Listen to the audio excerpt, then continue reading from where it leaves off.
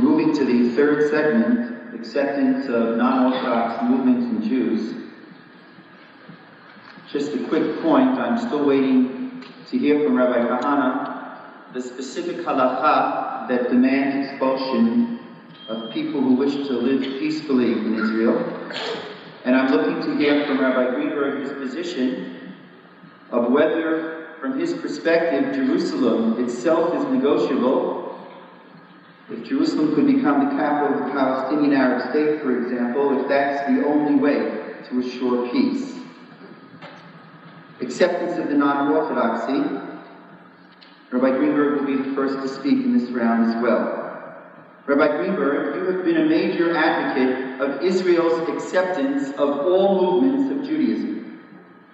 Would you place any limits upon the Israeli government's acceptance of them? For example, should the state of Israel immediately accept Reconstructionist reform and conservative conversions? Should Israel tomorrow officially list as Jewish those born of patrilineal descent. Should these individuals be allowed to declare immediate citizenship based upon the law of return? Should non-Orthodox rabbis in Israel, beginning right away, have the right to perform marriages and conversions even if they are not halachic? And should the chief rabbinate in Israel be reorganized to include representation from conservative reform and reconstructionist rabbis? If the answer is no, aren't you negating the legitimacy of these movements which you champion? If your answer is yes, are you creating two Jewish people, as these movements have different definitions of who is a Jew? With all of these problems, do you favor the elimination of the chief rabbinate so that those who wish to marry or be considered Jewish in a non-halakhic way may officially do so according to Israeli law? Rabbi Kahane, you have spoken out in the harshest terms against non-Orthodox movements. Would you accept them on any level? For example, would you support the Israeli government's funding of these schools? Even from your perspective, isn't it better that Jews study Torah there than not at all? Would you allow non-Orthodox rabbis legitimacy in Israel, except in the areas of personal status issues? Could they, as Rabbi Rackman has suggested, be permitted to perform weddings without being the of the witnesses? Would you support Rabbi Lamm's proposal for a national court of religious law which would include leaders other than those denominated Orthodox to solve tragic problems of Jewish personal status? And how do you, Rabbi Kahane, view the non-observant or non-affiliated Jew? Do they have any level of holiness, or are they to be dismissed as valueless beyond the pale? Where do you for example, place the Shomer HaTzair Jew who throw egg in your face but fought and died defending Israel. Finally, in your theocratic state governed by Torah laws, what would be the fate of the majority of Jews who are not yet observant? Would there, for example, be capital punishment for those who desecrate the Sabbath? Would the vast number of non-observant and non-affiliated Jews leave Israel if your vision was implemented? I know Rabbi Greenberg and I know you, Rabbi Kahane, as people who love Jews. Why not promote greater observance by leading, by teaching Torah in the spirit of love and concern rather than through coercion and strong arm tactics?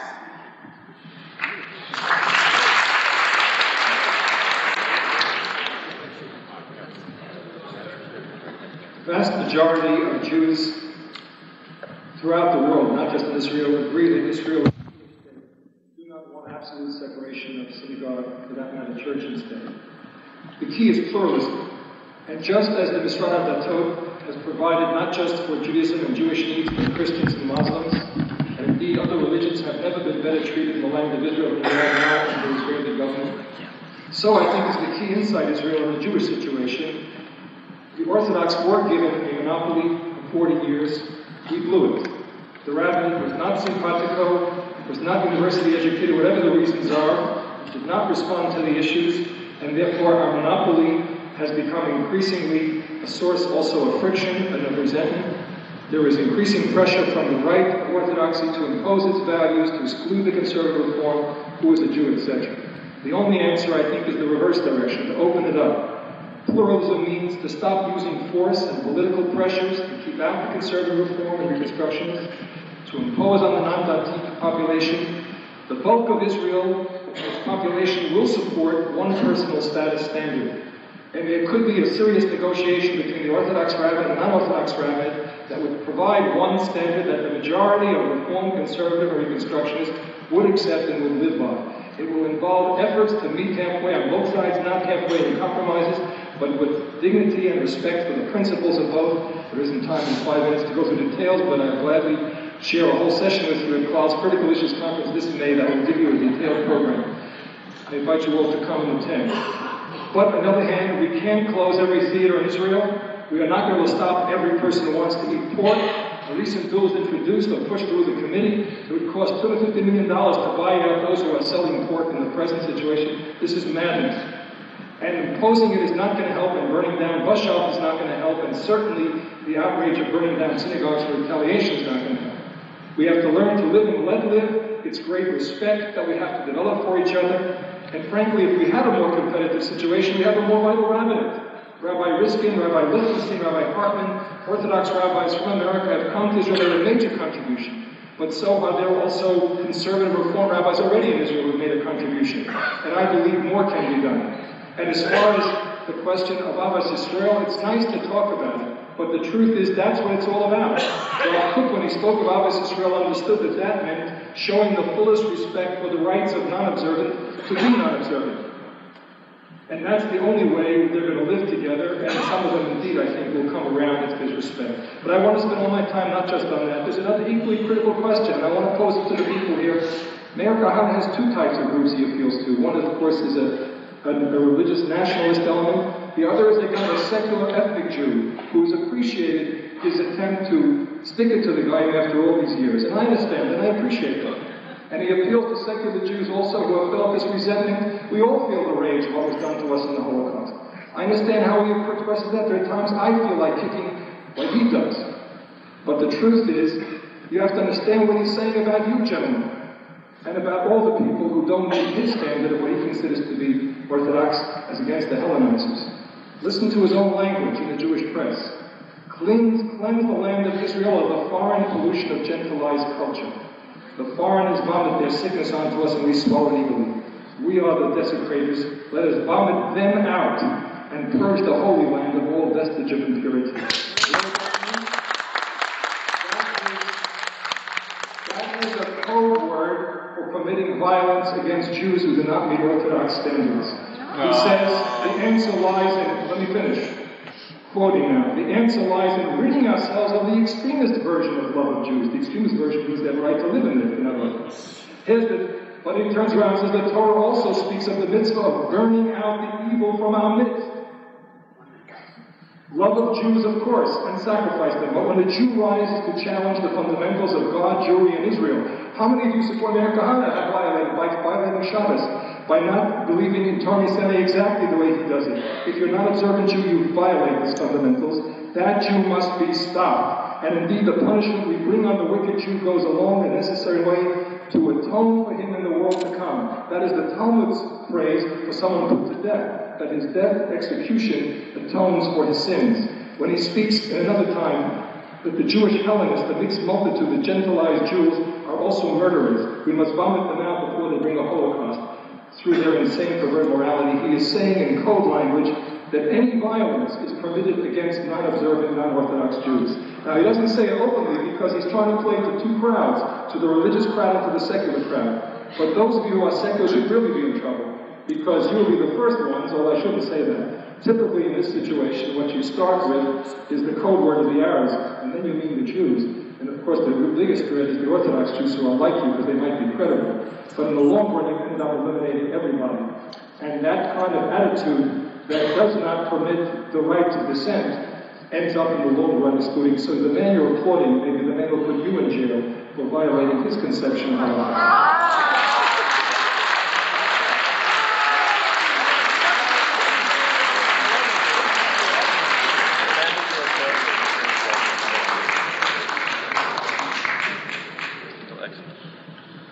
that was probably the most outrageous thing that I've ever.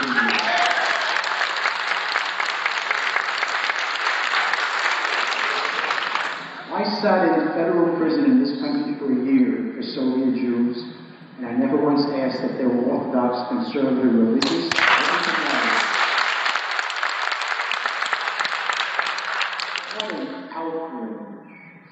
A decent person would have come to me before the debate and said, look, it appears to me from his rulings that you said this, is it true? It was an indecency that was performed in the synagogue today. Violence against Jews? What an outrage. The Kach movement is made up of over 80% non-observant Jews. And they know exactly what I say. And they, and they know exactly what I write. Because what he read was also written in, in my books, in Hebrew.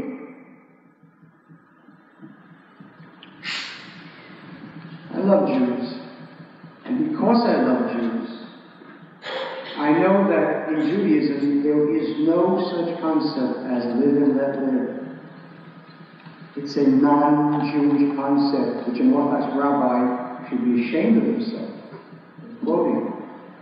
The Jewish people, the Talmud tells us, stood at Mount Sinai, and each one became an Arev, a guarantor each and every other Jew. The Jew sins brings down punishment upon all of us. We are not allowed, we cannot, we are, we are not free to simply say, live and let live. I'd be happy to say it, but I can't. I'm bound by Judaism. I'm not the product of a sharpness and admixture of Judaism and Western culture. The rabbis tell us that it's similar to two Jews in a boat. One in front and one in the back, and one in front suddenly hears someone banging in the back, and he looks and he sees the fellow in the back knocking a hole in the boat. And he says, What are you doing? He says, What do you want? It's my side. Well, in a boat, there is no sign. There are no signs. When there's a hole in the boat, we all sink. And when Jews sin, we all suffer. And that is the basic axiom of Judaism. Im Bechukotai. Telechu, if you shall walk in my statutes, or if you abhor my statutes. And that which happened in, in Israel is not what I will do Greenberg will do. It's what the entire Jewish people does in terms of observance of God's commandments as given at, at Sinai. I don't want to force, we're not sending police into people's homes. But I would like the public character of Israel to be Jewish.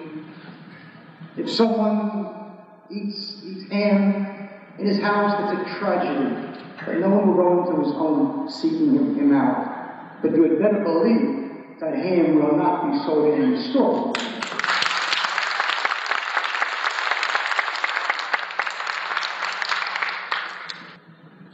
I am committed to democracy, not because I'm happy about it.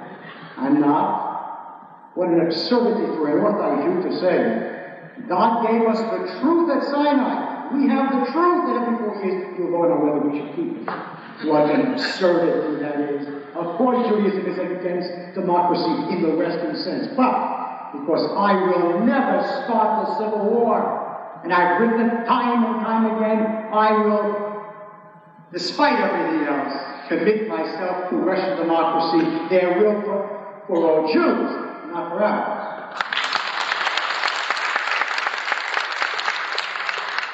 Why do you bring in this red herring of the burning of bus stations? Am I for that? Isn't that absurd? What a red herring this is. No one wants, no one wants to burn bus, bus stations, no one wants to stone Jews. I'm as much opposed to Jew stoning Jews as I'm opposed to Arab stoning Jews. I would hope that in Israel, the kind of a Jewish state will arise that will bring the Messiah. One in which there is equal rights for Reform rabbis to perform marriages and divorces which will produce bastards will not bring the Messiah.